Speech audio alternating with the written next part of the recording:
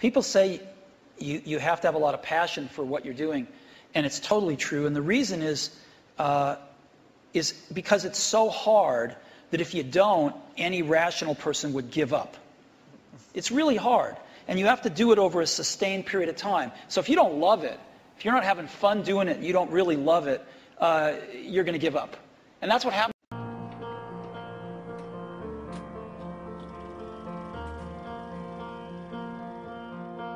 Through the window, I see you waiting.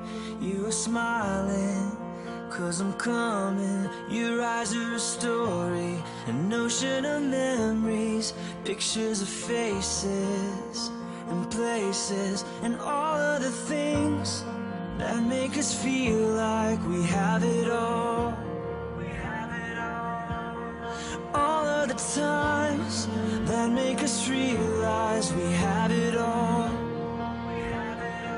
You got this. You We got this.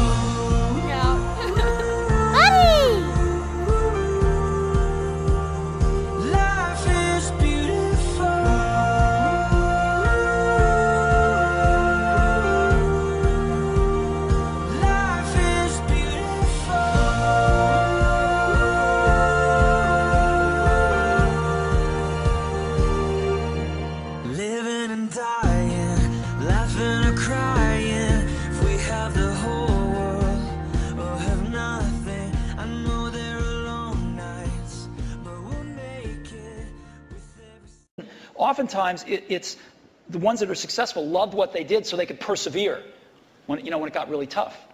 And, and the ones that, that didn't love it quit because they're sane, right? Who would want to put up with this stuff if you don't love it?